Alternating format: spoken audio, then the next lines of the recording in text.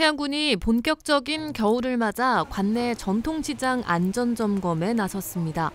태안군은 겨울철 가스와 전기 사용량의 증가로 인한 위험 요소를 사전에 파악하기 위해 태안소방서와 관내 에너지 공급업체, 건축사 사무소 등과 합동 점검반을 편성해 점검을 진행했습니다.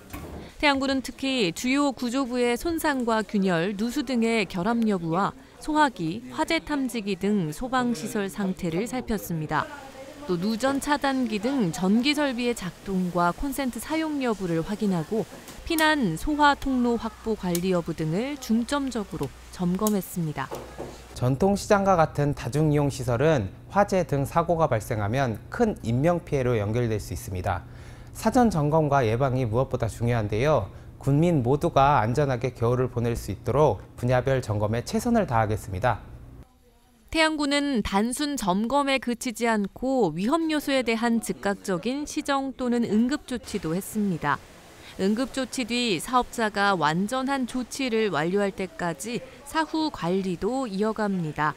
태양군은 군민 모두가 사고 없는 안전한 겨울을 보낼 수 있도록 각 분야별 점검을 철저히 완료합니다.